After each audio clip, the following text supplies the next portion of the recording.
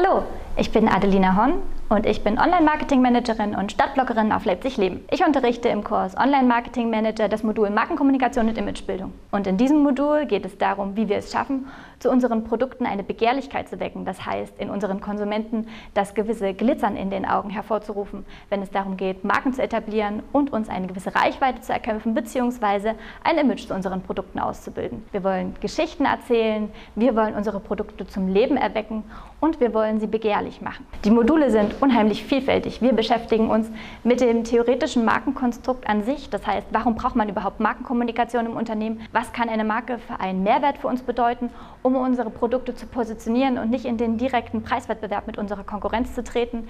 Und was können wir für Strategien fahren, um uns entsprechend am Markt zu etablieren und entsprechend positive Assoziationen in den Köpfen unserer Zielgruppe zu manifestieren? Wir beschäftigen uns mit Strategien auf YouTube, viralen Strategien, virtuellen Identitäten. Wir beschäftigen uns mit Weblogs und Corporate Blogs, aber auch mit dem großen Themenkomplex E-Mail-Marketing und wie Sie es schaffen, in der direkten Ansprache Ihre Kunden zu binden und auch neue Kunden zu gewinnen. Am Ende dieses Kurses werden Sie einen perfekten Handwerkskoffer in der Hand haben, um Entscheidungen zu treffen, um Ihre Mitarbeiter anzuleiten und entsprechend auch ja, Ihre Produkte bestmöglich zu vermarkten und positive Gefühle und Emotionen in den Köpfen Ihrer Zielgruppe hervorzurufen. Ich freue mich darauf, Sie in meinem Modul begrüßen zu können. Wir beschäftigen uns mit spannenden Praxisbeispielen, spannenden Hausaufgaben in zwei Themenwochen und abschließend in einem Workshop hier in Leipzig in der HSB Akademie.